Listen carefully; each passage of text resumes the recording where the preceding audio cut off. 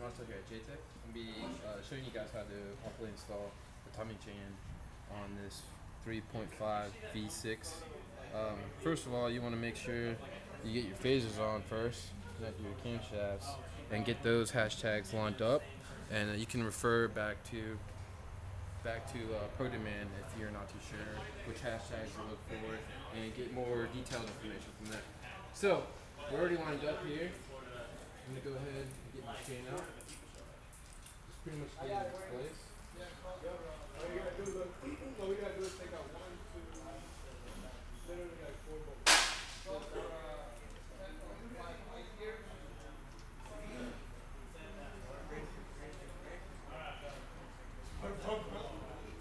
Yeah, hey, you gotta take out the, uh, those are a little like small.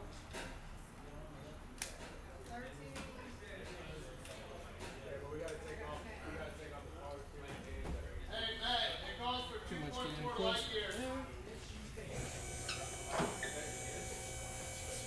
Gonna go with that.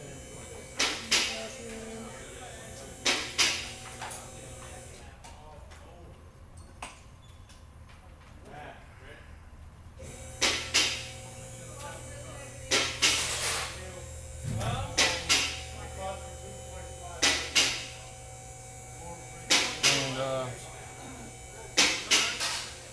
What's the time? Then we are going to put some tension on the chain before we finish up here. Go ahead, get your tensioner, and you want to preload it up. Remember how to do this. Here we go.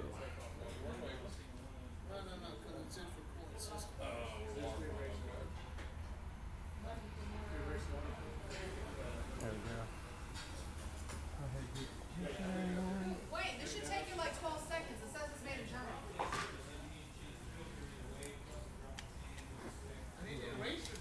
Oh, try it a little bit right here. Bear with me.